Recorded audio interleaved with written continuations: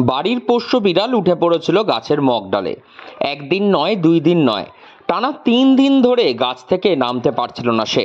এদিকে নিজের প্রিয় বিড়াল গাছে উঠে থাকায় ঘুম উড়েছিল তার মালকিনের।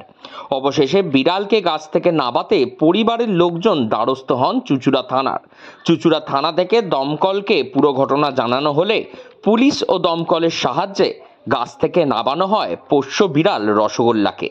ঘটনাটি ঘটেছে হুগলির চুচুড়ার বেলতলা চৌমাথা এলাকায়। Really আজকে আমার বিড়ালকে যিনি দেখেন কুণাল চক্র- চক্রবর্তী তার সূত্রে আমি তারপরে যাই হচ্ছে পুলিশ স্টেশনে চুচুড়া পুলিশ স্টেশনে যাওয়ার পর ওখান থেকে ওনারা ফোন করে তারপর ফাইনালি ফায়ার ব্রিগেড এসে রেস্কিউ করে। এক আর আমি- তিন দিন ধরে হ্যাঁ গাছ এরম ভাবেই দের ইজ নো মানে আমি কাউন্সিলরের কাছেও চেষ্টা করেছি কারণ কারোর কাছে কোনো অপশন নেই। এই- এই এই জায়গায় উঠে ইয়ে করানোর মতো কোনো অপশন ছিল না। আমরা নিজেরা চেষ্টা করেছি কিন্তু কোনো শেষমেশ থানার দ্বারস্থ হয়েছিলেন এবং থানার দ্বারস্থ হওয়াতে তারপরে ফাইনালি কাজটা হয়। হ্যাঁ এটা আমার পোষ্য বেড়াল। আমার সম্পূর্ণ পোষ্য বেড়াল। চুচুড়ার বেলতলা চৌমাথা এলাকার বাসিন্দা অরুণিমা পালের পোষ্য বিড়ালের নাম রসগোল্লা। এখনও এক বছর বয়স হয়নি তার খুব ছটফটে। সবার চোখের আড়ালে কখন গাছ বেয়ে মগডালে উঠে পড়েছিল তা দেখতে পায়নি অরুণিমা ও তার বাড়ির লোকজন। দেখার পর নিজেরা চেষ্টা করে তাকে নামাতে, কিন্তু ব্যর্থ হয়।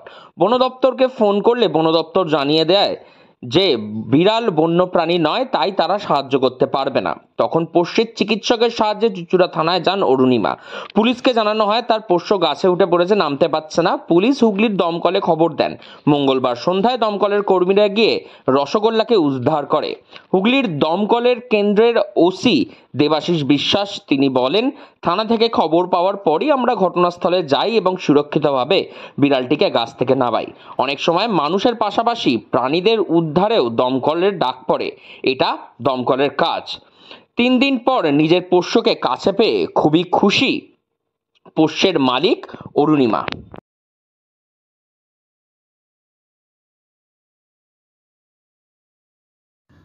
আমাদের কাছে প্রথমে একটা থানা থেকে ফোন আসে। অন ডিউটি অফিসার ফোন করে, জানায় যে এরকম একটা গাছের উপরে একটা বিড়াল আটকে গেছে, তিন দিন ধরে নাকি আটকে গেছে। তো স্যার যদি একটু রেস্কিউ করার ব্যবস্থা করেন তাই বললাম তাহলে আপনি আমাদের প্রথমত আগে অ্যাড্রেসটা বলুন। কারণ সেই জায়গায় আমাদের বড় গাড়ি ঢুকবে কিনা একটা ব্যাপার আছে। যখন গাছে বলছেন, তখন ধরেই নিতে হবে যে বিড়ালটা অনেকটা উঁচুতে রয়েছে। তার কারণ ছোটোখাটো জায়গা থাকলে সে বিড়ালটা নেমে যেতে পারতো। এখন তিন দিন ধরে আপনাদের কথা মতন যদি চলছেন, তাহলে আমাকে যদি পুরো অ্যাড্রেসটা দিন। যার ফলে উনি পুরো অ্যাড্রেসটা দিলেন এবং ওনাদেরকে যা, যে মহিলা ফোন করেছিলেন তিনিও ওরকমই বলেছেন, তিন দিন ধরে আটকে আছেন। তো রীতিমতন আমি আমার টিমকে পাঠাই এখান থেকে তারা অবজার্ভ করে ওখান থেকে এবং ওখানে গিয়ে তারা সামান্য কিছু একটু রেস্কিউ করে ফেলে, কারণ চট করে ওনারা একটুখানি গাছে উঠে যান এবং বিড়ালটাকে সুন্দরভাবে রেস্কিউ করে নামিয়ে আসে এইটুকুই হচ্ছে আমাদের কাজ। মানে একটা ভালো কাজ। ভালো বলতে দেখুন এগুলো আমাদের ডিউটির পর্যায়ে পড়ে। প্রথমে তো রেস্কিউ তো একটা আমাদের পার্টের পরেই মানুষকে রেস্কিউ করা কোনো অ্যানিমেলকে রেস্কিউ করা আমরা বিভিন্ন ধরনের করে থাকি। খুব একটা দরকার পড়ে না বন দপ্তরের হেল্প যদি খুব সেরকম হয় তাহলে অবশ্যই তাদেরকেও জানানো হয় ব্যাপারটা। এই পর্যায়ে আর কি।